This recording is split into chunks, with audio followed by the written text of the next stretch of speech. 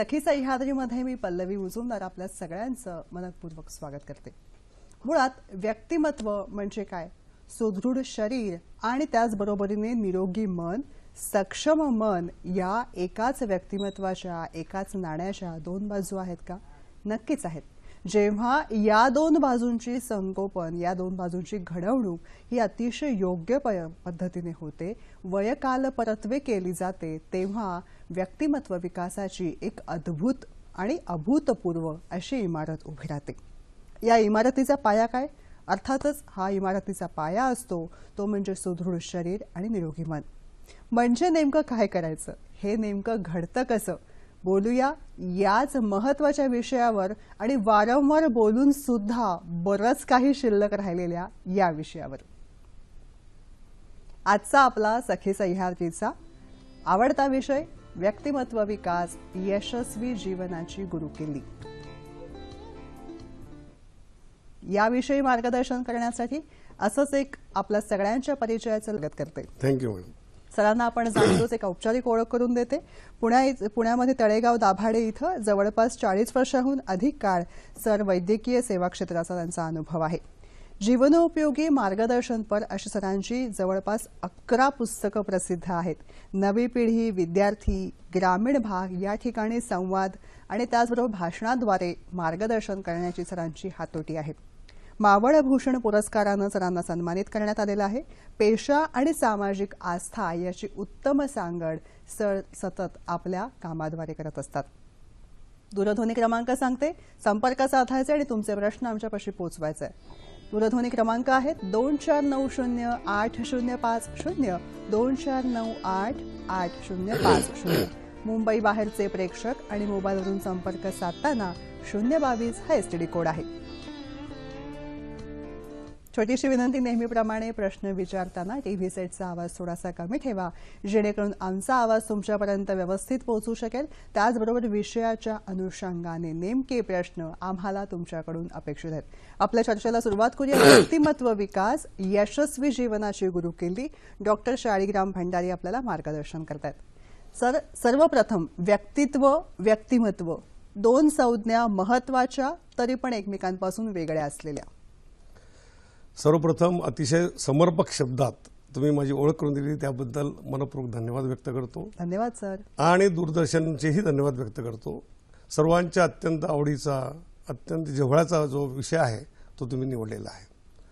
माझ्या आणि आपल्या चर्चेला सुरुवात करण्यापूर्वी शारचे फार सुरेख शब्द मला आठवत आहे. हा हा.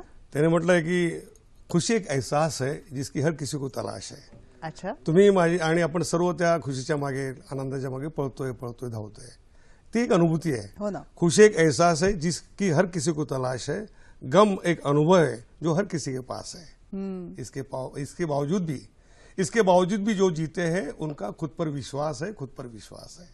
खरंय तर हे व्यक्तिमत्व ज्यावेळेस स्वतःवरती विश्वास असतं त्यावेळेस अतिशय चांगलं फुलतं फुलतं आणि परिपक्व होतं. पण पहिल्यांदा व्यक्तिमत्व काय याची आपण व्याख्या करूया. नक्कीच. त्याची व्याप्ती पण बघूया आपण. हो. व्यक्तिमत्व हा म्हणजे तुमच्या आवडी निवडी तुमच्या सवय तुमच्या अभिरुची तुमचा जीवनाकडे बघणारा बघण्याचा दृष्टिकोन त्याचं संपूर्ण व्यवस्थापन जीवन मूल्यांचं मूल्यांचं दिवस दिवस जीवन मूल्यांचं व्यवस्थापन म्हणजे आपलं व्यक्तिमत्व असतं. मग व्यक्ति- व्यक्तिमत्वाला अनेक पैलू पाडणारे आणि अनेक संस्कार घडवणारे वेगवेगळी माध्यमातून आपल्याजवळ येतात ते. हो सर्वप्रथम आपली आई येते आपले वडील येतात आपले गुरुजन येतात आणि संपूर्ण समाज येतो. आणि मला सांगायला आनंद वाटतो की सर्वात मूल्यवान अत्यंत श्रीमंत अशी जे आहे आपलं मानवी मानवी देह आहे. आणि मानवी देहाला जर संस्काराची जोड पडली मिळाली तर निश्चितपणे त्याचं व्यक्ति व्यक्तिमत्व संपूर्ण साकार होतं संपन्न होतं परिपक्व होतं. खरंय. म्हणून व्यक्तिमत्वापासून व्यक्तीपासून व्यक्तिमत्वाकडे जो जो आपला प्रवास आहे तो प्रवास करण्यासाठी आपल्याला चांगली संगत पाहिजे. हम्म, म- महत्वाचं तुम्ही म्हटलं की तुमचं शरीर तुमचं निरोगी शरीर आणि निरोगी मन. निरोगी शरीराची काळजी घ्यायची म्हणजे आहार पाहिजे विहार पाहिजे आणि विचार पाहिजे. आहाराची काळजी आपल्याला आपल्या घरापासून मिळते.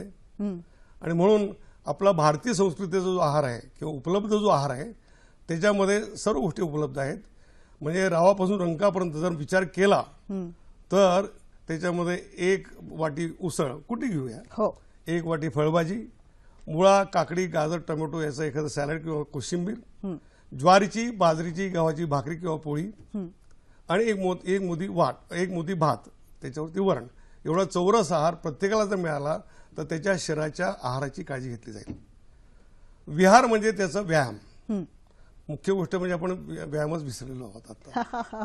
आपण गाडीतून बंगल्यात जातो बंगल्यातून गाडीत जातो आणि प्रत्येकाने निदान कमीत कमी सकाळी उठल्यावरती तीन ग्लास पाणी प्यायल्यानंतर आपलं मुखमार्जन केल्यानंतर प्रातर्विधी आटपल्यानंतर कमीत कमी बारा सूर्यनमस्कार करणं आवश्यक आहे. वेगवेगळी आसनं करणं आवश्यक आहे. ज्या वाहनावरती आपण बसतो त्या वाहनाची आपण काळजी घेतो.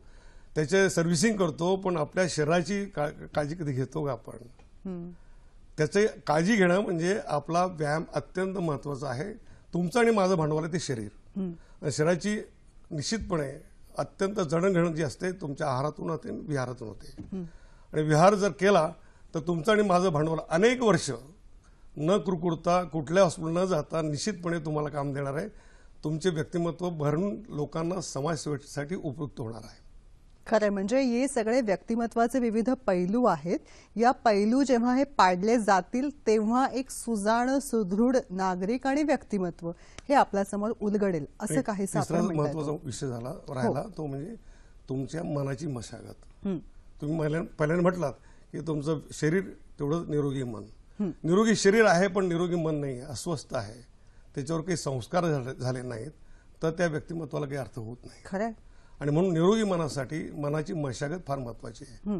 मन करारे प्रसन्न सर्व सिद्धीचे कारण. जर मन अस्वस्थ असेल तर तुमचं शरीर किती चांगलं असलं तर त्याचा उपयोग होत नाही. आणि म्हणून मनाची काळजी घेणं म्हणजे त्याला सकारात्मक दृष्टिकोनातून त्याच्याकडे नेणं आहे. प्रत्येक माणसाचा स्वभाव असाच असतो की तो नेगेटिव्ह विचार करतो नेहमी निगेटिव्ह विचार करतो. समजा एखादा लग्न समारंभ चाललेला आहे एखादी व्यक्ती कोपऱ्यात बसलेली आहे ती विचार करते आता होम होणार आहे होम हवन होणार आहे आणि त्याच्यानंतर कुठे कुठेतरी वारा येईल त्या वधूचा पदर पेटेल ती पेटेल संपूर्ण मंडप जळून खाक होईल. आणि असं असताना असा ती विचार करते निगेटिव्ह आणि त्याच वेळी तदेव लग्न म्हटलू म्हणून एक मंत्रोच्चार होतो आणि ती जागेवर येते तिच्या हातात पेढा येतो.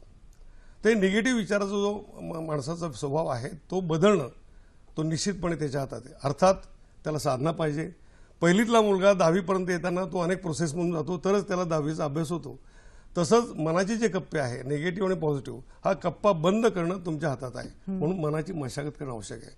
आणि त्यासाठी अत- उत्तम तुम्हाला वाचन केलं पाहिजे. उत्तम लोकांच्या संगतीत राहायला पाहिजे. तरच तुमच्या विचाराची दिशा बदलू शकते.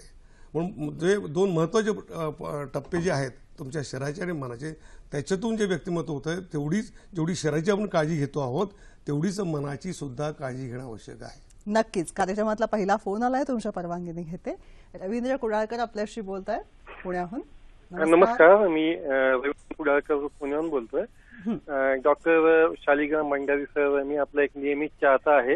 आणि आपल्या मार्गदर्शनातून सकारात्मक प्रेरणा आणि संवेदना अशी मिळते की जीवनाकडे पाहण्याचा एक चांगला दृष्टिकोन प्रत्येकाच्या मनात निर्माण होईल. माझे तीन प्रश्न आहेत आपल्याला आज. पहिला प्रश्न मला असा विचारायचा सर की मन म्हणजे नक्की काय? आणि मनाचा संबंध व्यक्तिमत्वाशी कशा प्रकारे येत असतो? दुसरा प्रश्न मला असा विचारायचा आहे सर की वय वाढतं वय देखील व्यक्तिमत्वाचं एक अंग असतं. आणि जसं जसं वय वाढतोय तसं तसं व्यक्तीचा काही गोष्टींमधला रस म्हणा इंटरेस्ट म्हणा कमी कमी होतो. आणि व्यक्ती अशी म्हणते की हे कशाला करायचं? ते कशाला करायचं? उगीच कशाला एखादी गोष्ट करायची? असा नकारात्मक दृष्टिकोन होत असतो. मग जीवन जगण्यासाठी या नकारात्मक गोष्टी कितपत प्रभावी असतात आणि त्यासाठी काय केलं जावं? आणि तिसरा प्रश्न असा आहे सर माझा की कधी कधी जीवनामध्ये चांगल्या गोष्टी आपण आनंदाने स्वीकारतो. पण ज्या वाईट गोष्टी असतात टीका टिप्पणी असते टक्के टोनपे असतात याने देखील मन निराश होतं. मग यासाठी काय केलं जावं? धन्यवाद सर. शुभेच्छा धन्यवाद. मन म्हणजे काय हो? मनाचा इतका जबरदस्त अभ्यास करावा लागतो की त्याचे पदर आपल्याला उलगडून सांगता येत नाही. तरी पण त्याची अनुभूती येते. उदाहरणार्थ मी एके दिवशी आजारी पडलो. त्या दिवशी आमच्या शेजारच्या मारवाडीची म्हैस आजारी पडली. माझ्या मनाने घेतलं की एकाच दिवशी आपण आजारी पडलोय. म्हैस जगली तर मी जगणार आहे. ही सत्यकथा आहे सत्यकथा शंभर टक्के. आणि त्याच्यानंतर आठ दिवसाने म्हैस दुर्दवळ गेली.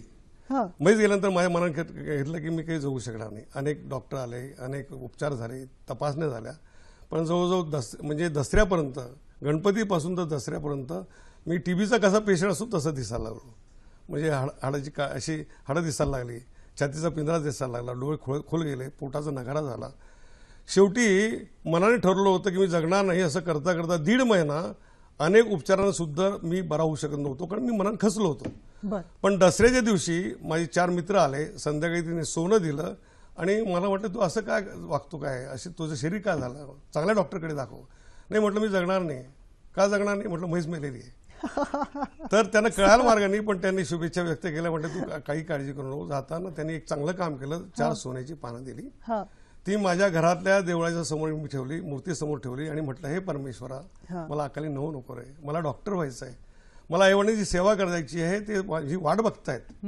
मला समाज सेवा करायची असं करता करता संपूर्ण अणुरेणू माझा आक्रंदन करून म्हणत होता की मला या अकाली नऊ नको मला डॉक्टर व्हायचं आहे म्हणा एक पाच दहा मिनिटांतर माझ्या हातामधला मी स्पर्शाने मी जागा झालो डोळे उघडले.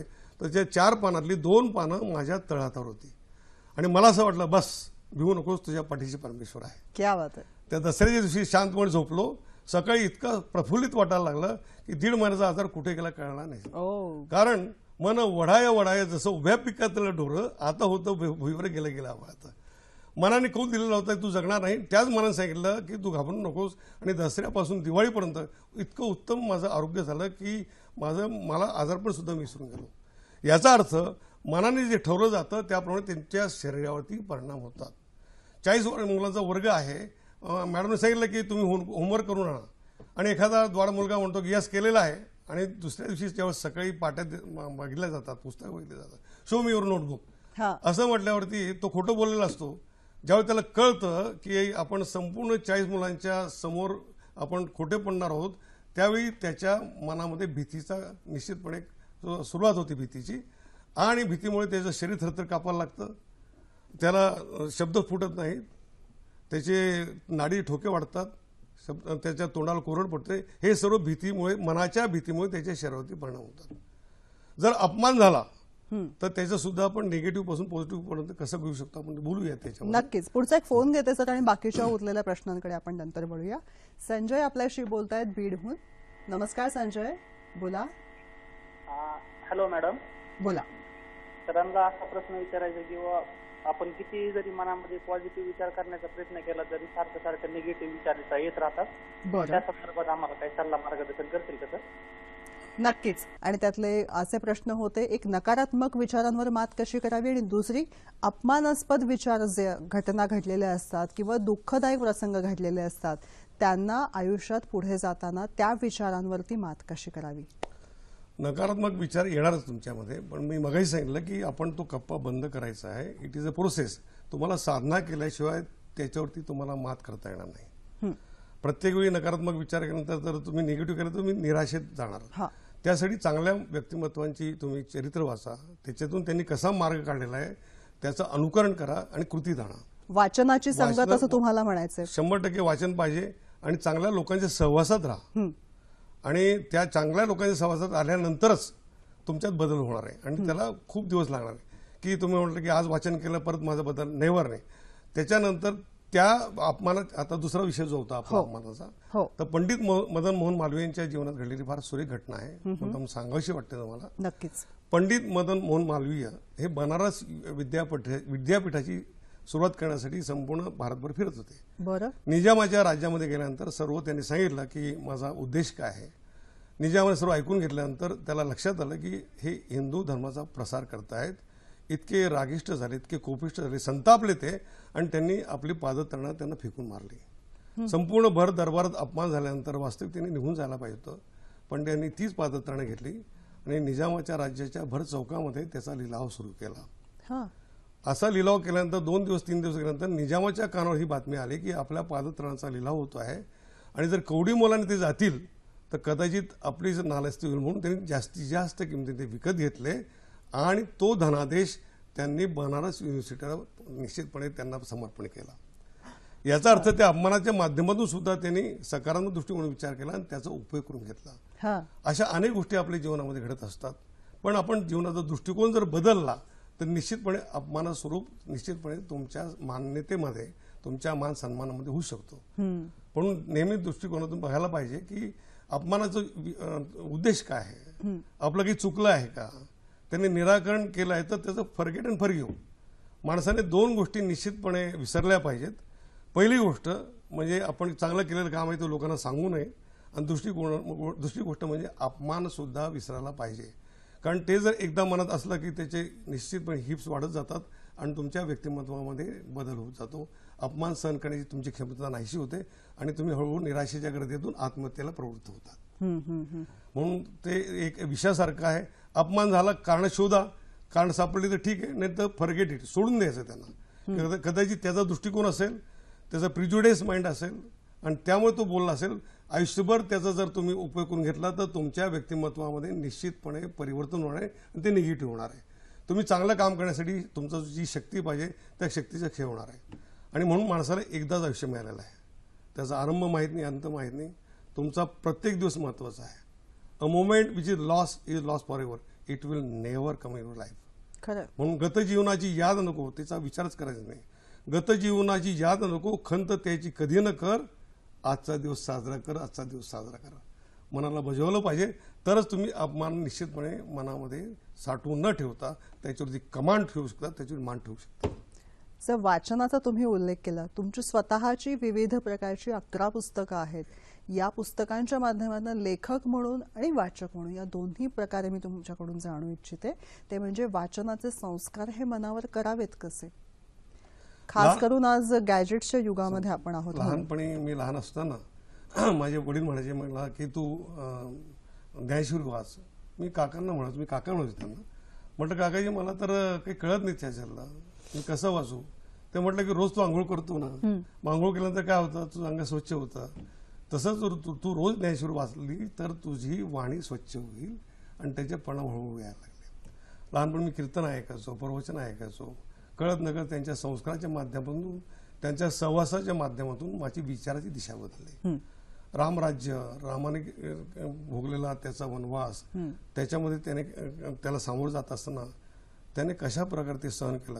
सकाळी त्याचा राज्याभिषेक होणार आहे आणि सकाळी त्याला सांगण्यात आलं की तुला वनवासात जायचं आहे.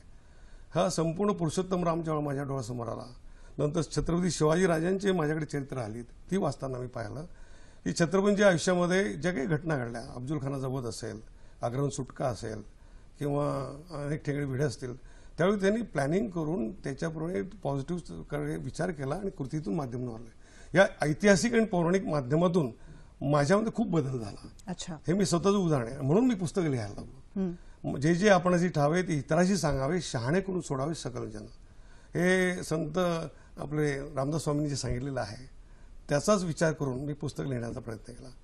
मला ते प्रवृत्त केलं माझ्या सर्व रुग्णांनी तुम्ही जे अनुभव सांगतायत म्हटलंय ते सांगण्यापेक्षा लिहित राहा. तुम्ही गेल्यानंतर अनेक लोक वाचतील म्हटले. व्यक्तिमत्व विकासावरती मी लिहिलं.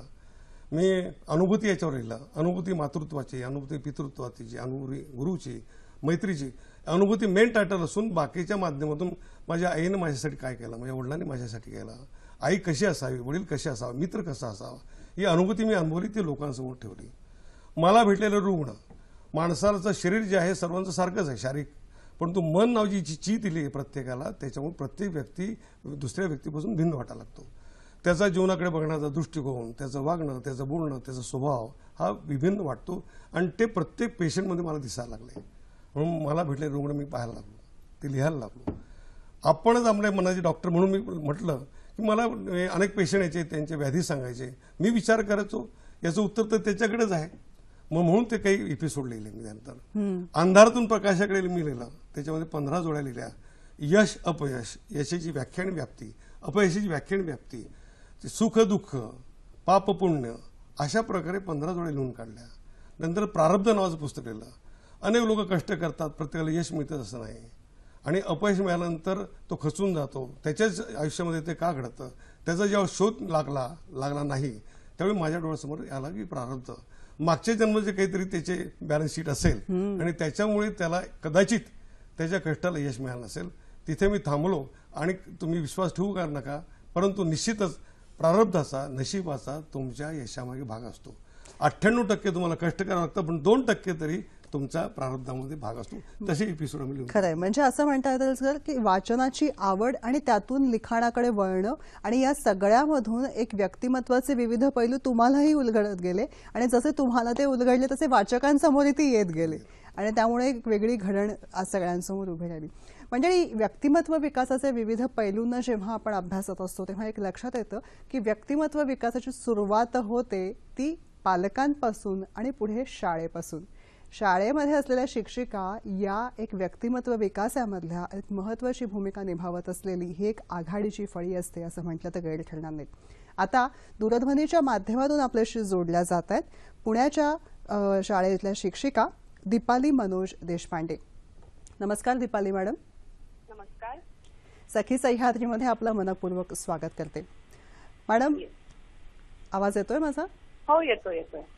मॅडम सगळ्यात आधी मला असं जाणून घ्यायला आवडेल की परदेशामध्ये आणि देशामध्ये असं दोन्ही ठिकाणी तुमचा शिकवण्याचा अनुभव आहे. त्या दृष्टिकोनातनं जेव्हा आपण विचार करतो तेव्हा विद्यार्थ्यांवरती संस्कार ही शिक्षकांची जबाबदारीही असते.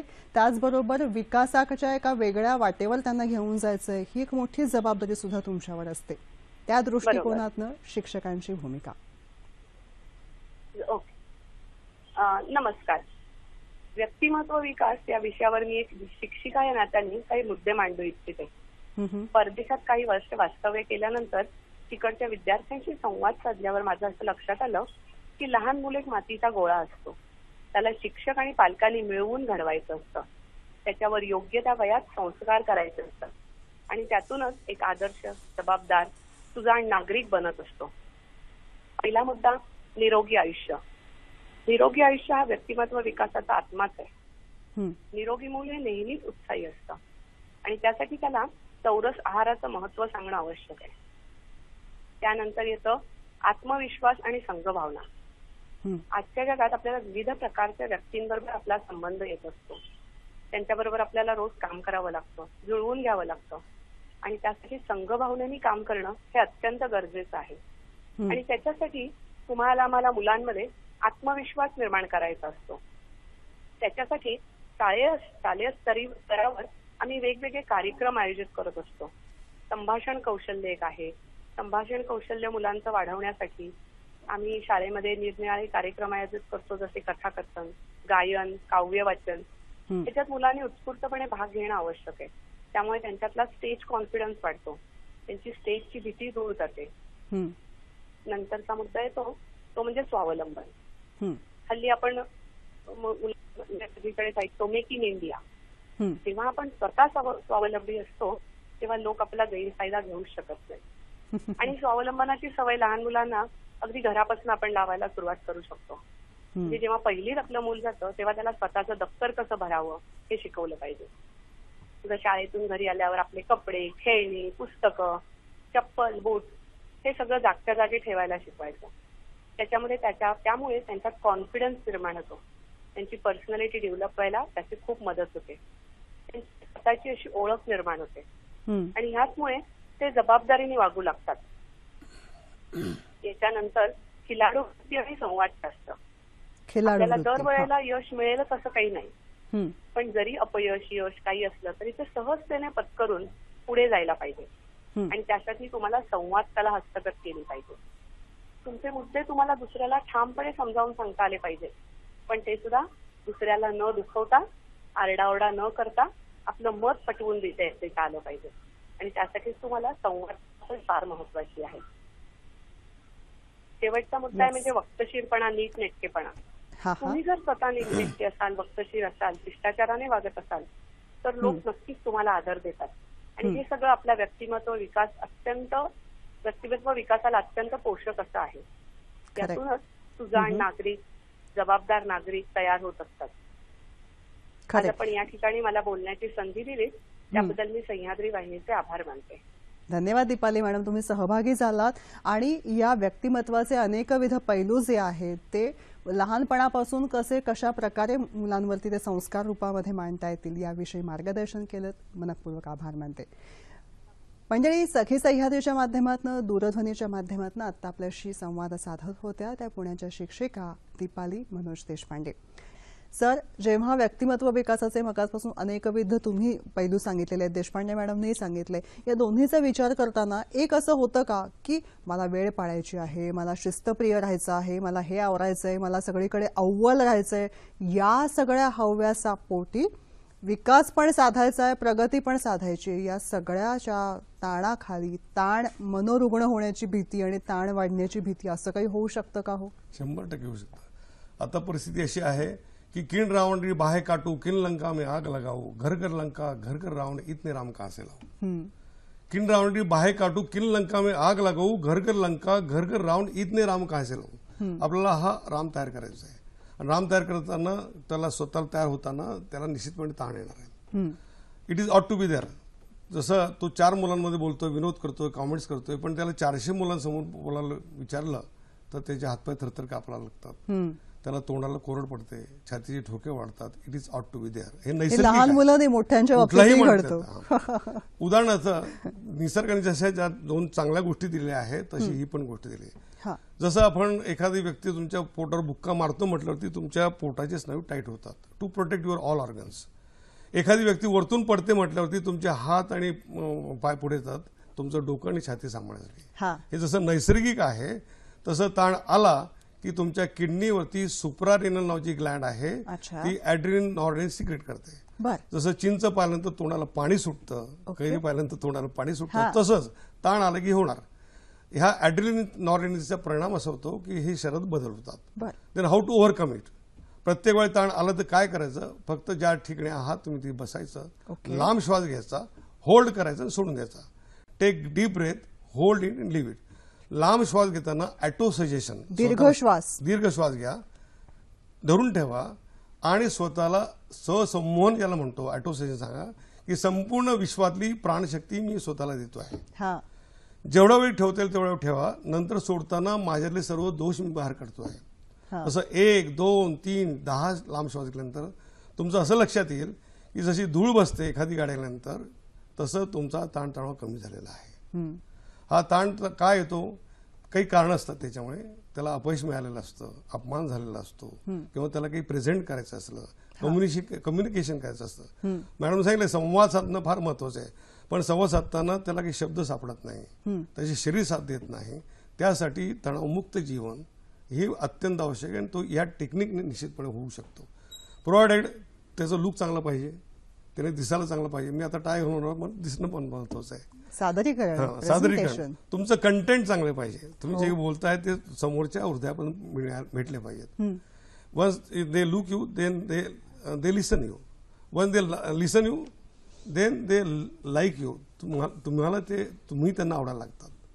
Then they love you and then buy you it is a process म्हणून तुमचं दिस दिसणं जे आहे तुमच्या चेहऱ्यावरती तुमच्या बाह्य रुग्ण बाह्य तुमच्या या पेरावरती असतं आणि तुमचं अंतर्मन किती सक्षम आहे अत्यंत तणावमुक्त आहे ते तुमच्या चेहऱ्यावर प्रतिबिंबित होतं.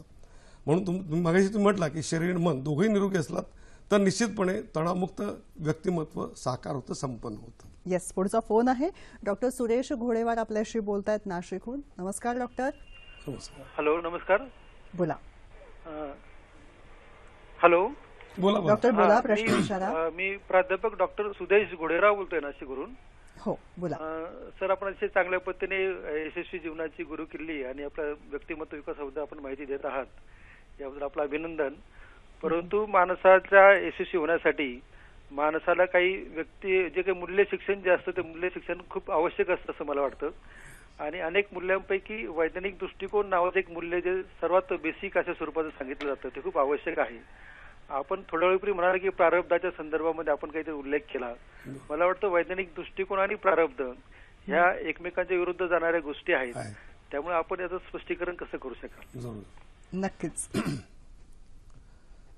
अतिशय सुरेख प्रश्न त्यांनी विचारले. त्यांचं अभिनंदन करतो मी. पहिला त्यांचा प्रश्न होता की वैज्ञानिक दृष्टिकोन आणि प्रारब्ध यांचं. नात्याविषयी. त्यांनी आधी असं म्हटलं होतं की जीवन. मूल्य व्हॅल्यूज ज्याला आपण. म्हणतो ते. प्रत्येकाच्या माणसाचे दोन कप्पे असतात. पहिला कप्पा आहे त्याची भाकरी नोकरी आणि छोकरी. कुटुंब भाकरी नोकरी छोकरी त्यासाठी तो निश्चितपणे झटत असतो. म्हणजे मी माझी पत्नी माझे आई वडील माझी बहीण भाऊ यासाठी आवश्यक आहे. दुसरा कप्पा जो आहे त्याच्या मनाचा तो जो व्यवसायाचा आहे. आणि हे दोन्ही एकमेकाशी निगडीत आहे. जर व्यवसायात त्याला आनंद मिळाला काही प्रॉफिट मिळाला तर तो त्याचा निश्चितपणे सहभाग आपल्या कुटुंबाशी करतो कुटुंबाशी करून घेतो. आणि घरामध्ये काही कुरकुर झाली काही त्रास झाला तर तो त्याचा राग आपल्या व्यवस्था काढतो. हे दोन्ही कप्पे निश्चितपणे कळत नकळत आपल्या माणसाच्या आयुष्यामध्ये असतात. हे आपण टाळू शकत देर इज नो ऑप्शन पण तिसरा जो कप्पा आहे तो अत्यंत आवश्यक आहे तो सामाजिक बांधिलकी. जर तो कप्पा नसेल तर तुम्ही विकतची दुगणे घेता. Diabetes blood pressure heart attack येतो कारण आउटलेटच नाही तुमच्याकडे. तर माझं नीतिमूल्य जी आहेत किंवा जीवनमूल्य जी आहेत ती सांभाळण्यासाठी कुठलीही सामाजिक संस्था तुम्ही जॉईन करा. कळत नकळत तुमच्या संस्कार होतील माणसं कशी वागतात संतापावर कसा विजय मिळवतात अपयशात खचून न जातात निश्चितपणे यशाकडे मार्गदर्शन करता करता तो प्रवास कसा करतात हे तुम्हाला शिकायला मिळतं. आणि ज्या समाजाने तुम्हाला मोठं केलेलं आहे सक्षम केलेलं आहे काही ते दिलं आहे त्या समाजाचं देणं करण्यासाठी एक निश्चितपणे तुमची प्रवृत्ती तयार होते. मग तिथे जीवनमूल्य आपोआप तयार होतात. मग तुमची त्याच्यामध्ये डिव्होशन येतं डेडिकेशन येतं डिटर्मिनेशन येतं डिरेक्शन येतं. या सर्व गोष्टी तुमच्या यशस्वी जीवनाची गुरुकिल्ली तुमच्या हातात येते. आणि म्हणून तिसरा कप्पा जर नसेल तर चौथा कप्पा म्हणजे रुबी हॉल जहांगीर मोठे मोठे हॉस्पिटल तुम्हाला जावं लागतं. तर माझा निश्चितपणे मनापासून सांगणं की जो प्रश्न तुम्ही विचारला आहे ती नीतिमूल्य किंवा समाज आपली जीवनमूल्य जी आहेत ती जपणं त्यासाठी तुमच्या मनामध्ये सह अनुभूती पाहिजे. सहानुभूती सर्वांकडे असते. सहानुभूती माझ्या मुलांविषयी सर्वांची पण सहानुभूती म्हणजे त्याच्या निश्चितपणे त्याच्या याच्यात प्रवेश करणं. की तो कसा आहे तो कष्ट काय करतोय तो दुःखात काय आहे.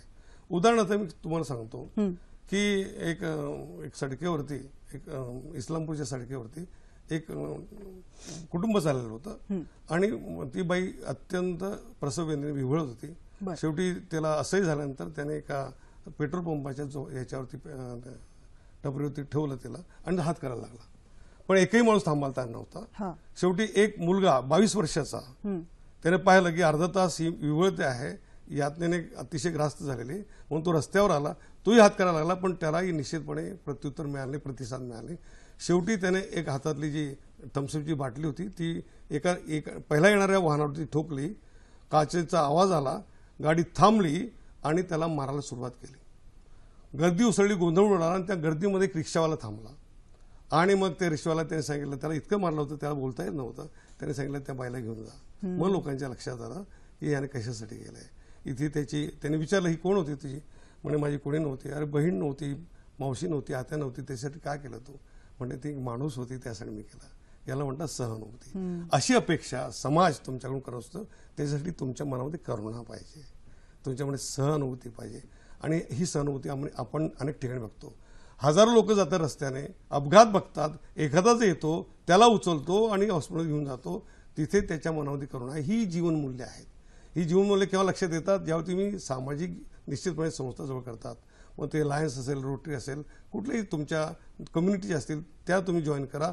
तरच तुमची जीवनमूल्य निश्चितपणे फोपावतील आणि प्रत्यक्ष तुमच्या व्यक्तिमत्वामध्ये त्याचं निश्चितपणे कृतीमध्ये रूपांतर होईल. सर म्हणतात ना म्हणजे की कोणता मुद्दा धरून बसायचा आणि किती काळ धरून बसायचा आणि कोणते मुद्दे चटकन सोडून द्यायचे आणि कशावर तोडगा काढायचा हे ज्याला कळलं त्याला विवेक म्हणजे काय समजलं असं म्हटलं जातं. तसं होतं. ते नक्कीच. त्यांचा मुद्दा पुढचा होता की वैज्ञानिक दृष्टिकोन आणि प्रारब्ध याविषयी. आयुष्याच्या वळणावरती बरं साहेब आयुष्याच्या वळणावरती आपण काही प्रश्नांची उत्तरं सापडत नाही.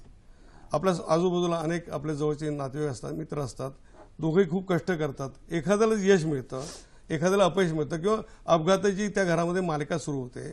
यावेळी ज्या यावेळी त्याचं जेव्हा उत्तर सापडलं नाही तिथे आपलं प्रारब्ध सुरू होतं. विज्ञानाचा कुठलाही आधार नाही पण अनुभूती आहे. तुम्ही डोळसपणे पाहिलं तर निश्चितपणे ही अनुभूती प्रत्येक ठिकाणी प्रत्येक गावामध्ये प्रत्येक कम्युनिटी तुम्हाला दिसते. म्हणून प्रारब्धावर विश आपण विश्वास ठेवायचा.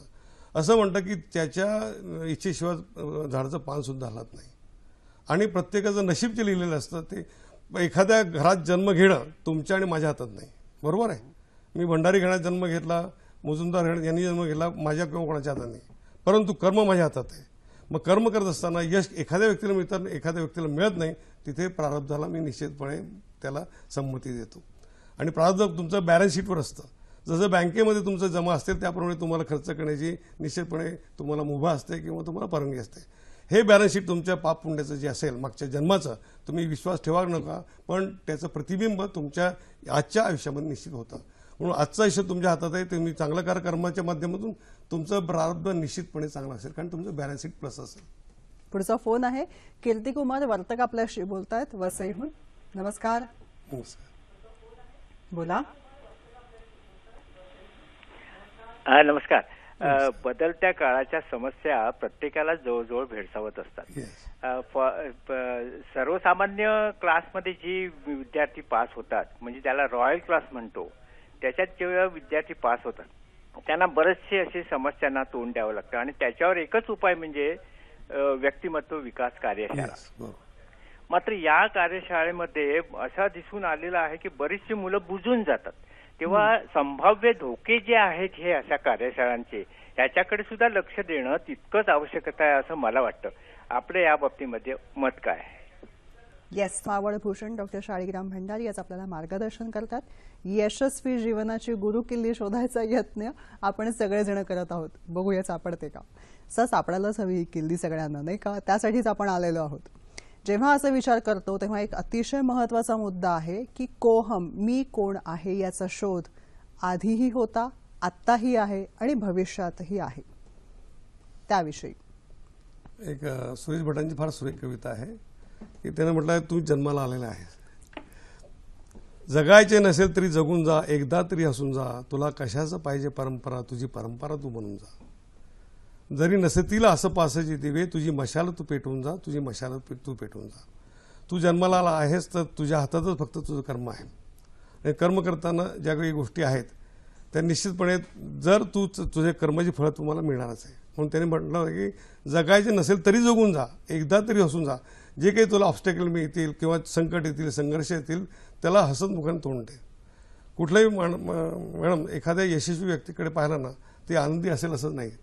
पण जर एखादी आनंदी व्यक्ती असेल तर शंभर टक्के ती यशस्वी. यशस्वी असते अगदी. आणि हे यशाचं गमक आहे किंवा. आपली गुरु किल्ली आहे. हो. आणि म्हणून माणसाने नेहमी हसत राहावं आनंदी राहावं. हसणारी माणसं खूप चांगली दिसतात बरोबर ना? अगदी. तर जर तुम्हाला चांगलं दिसायचं असेल तर त्या व्यक्तीला परमेश्वराने सौंदर्य दिलंही नसेल उंची दिली नसेल रंग नसेल पण हसणाऱ्या व्यक्तीचं सौंदर्य तुम्हाला आवडतं पटतं किंवा ते व्यक्ती तुम्हाला जवळच्या वाटतात. आणि म्हणून कोहम जरी म्हटलं तरी तुमचा मनात जेव्हा तुम्ही शोध घेता त्यावरती ह्या सर्व गोष्टी जीवनमूल्यांचा आणि या संपूर्ण या तुम्ही जे संस्कार केलेले आहेत त्या संस्काराचा समुच्चय जर तुमच्या कृतीमध्ये असला तरच तुमच्या कोहमच्या माध्यमातून तुमचं अस्तित्व अर्थपूर्ण जीवन लोकांच्या समाजापुढे तुम्ही मांडू शकता. खरंय. एक सगळ्यात महत्वाची गोष्ट म्हणजे ज्यांच्यामुळे आपण घराघरामध्ये सुखामध्ये राहत आहोत आनंदात आहोत ते म्हणजे आपले सीमेवरचे सैनिक. त्यांच्या मनामध्ये एक जाज्वल्य भावना असते ती म्हणजे देशप्रेमाविषयी.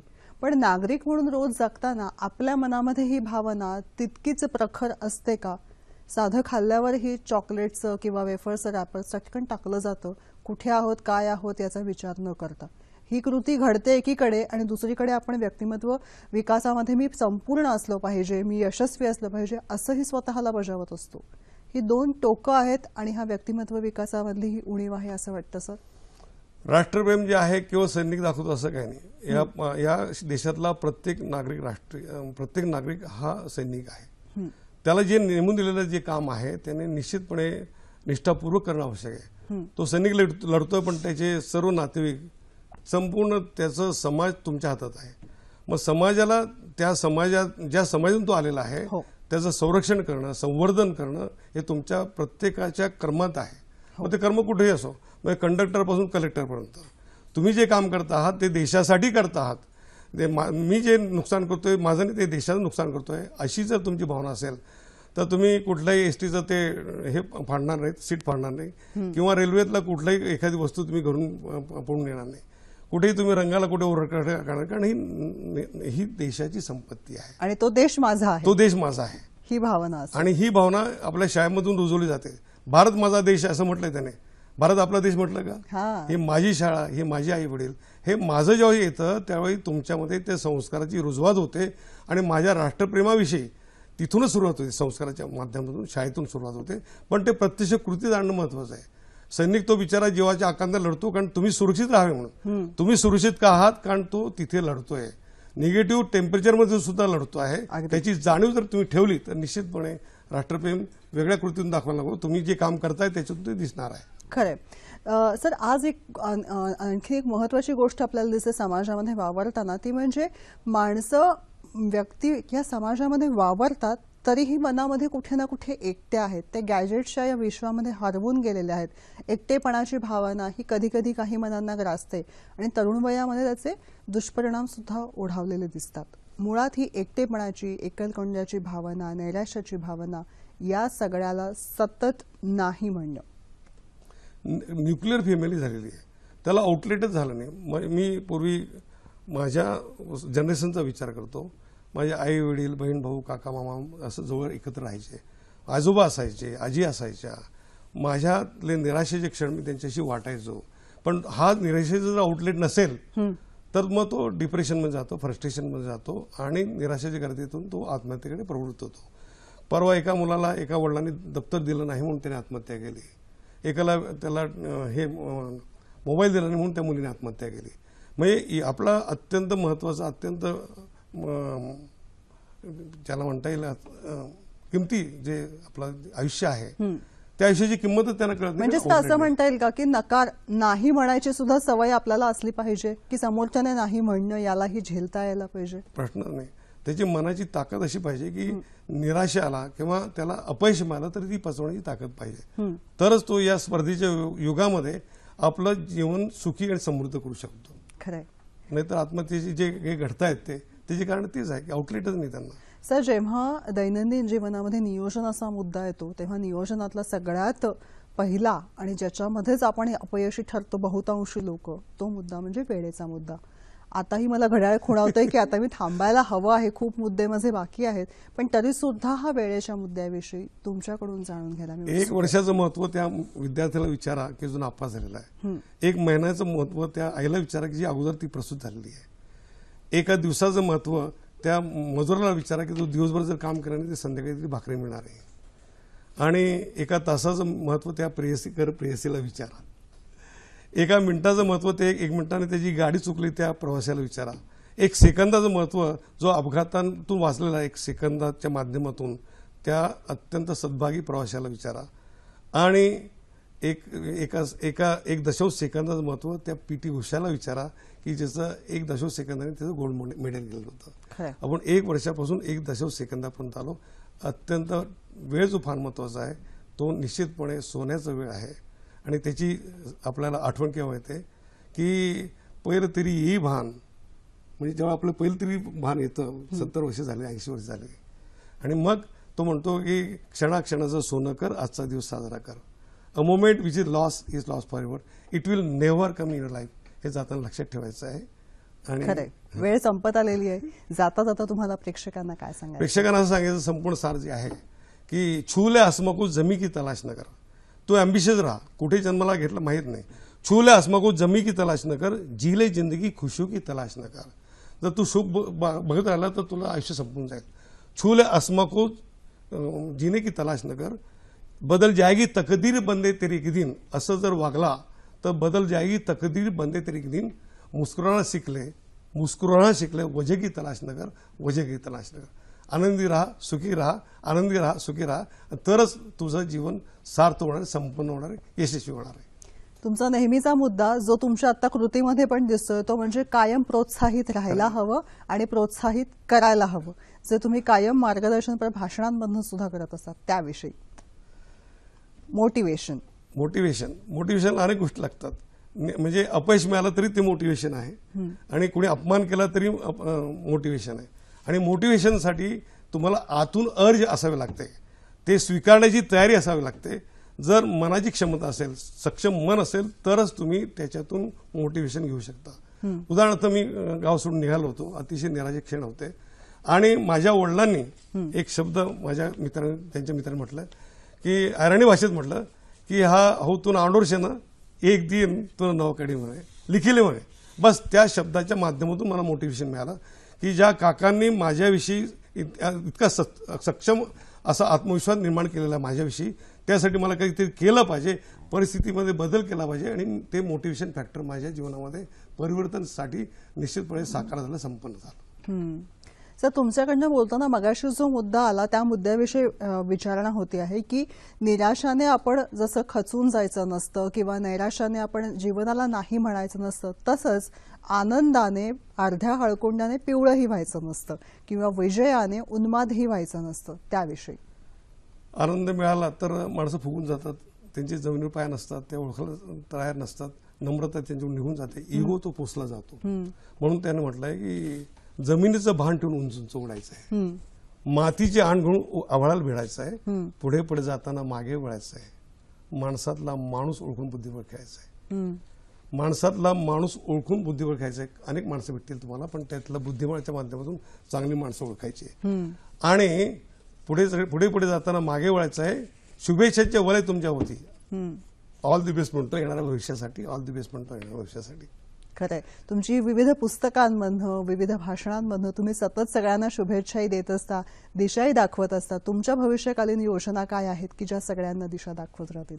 मला असं वाटतं की प्रतिकूल परिस्थिती एक देणगी आहे तुम्हाला त्याचा निश्चितपणे उपयोग करून घ्या. मूर्ति पूजनीय इसलिए कि उसमें देवता है. हम्म, अपितु उसने तराशे जाने का दर्द सा है. हम्म, म्हणजे टाकीचे घाव सोसल्याशिवाय देव पण येत नाही. आणि जर सरळ आयुष्य असलं तर त्याला मी डेडलाईन म्हणतो. ईसीजी असते ना ते निश्चितपणे त्याच्यामध्ये चढ उतार असतो. जर आयुष्यामध्ये चढ उतार जर मिळाले नाही तर तुमचं जीवन लोकांना निश्चितपणे भावना नाही. नाट्यपूर्ण जीवन तुम्हाला घडवायचं असेल तर तुमच्या जीवनामध्ये परिवर्तन घडवायचं असेल तर असे निराशेचे संघर्षाचे संकटाचे क्षण आलेच पाहिजे. आणि सक्षमपणे तुम्ही जसं त्याला तोंड देता आणि यशस्वी होता याच्याकडे संपूर्ण समाज लक्ष असतं.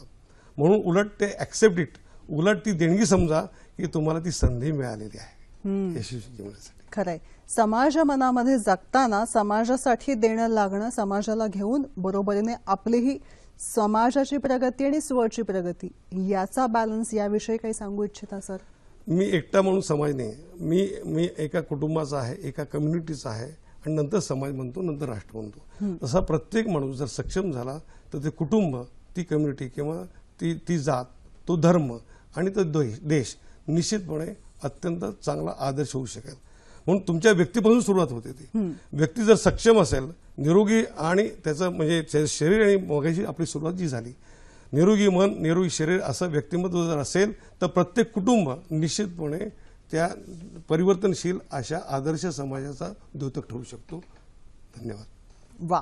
मंडळी एक गेल्या तासभर ही चर्चा जी सुरू आहे त्यातनं तुमच्या सगळ्यांच्या लक्षामध्ये आलेलं आहे. मुळात एकटेपणा नैराश्य या भावना आहेत कुठे?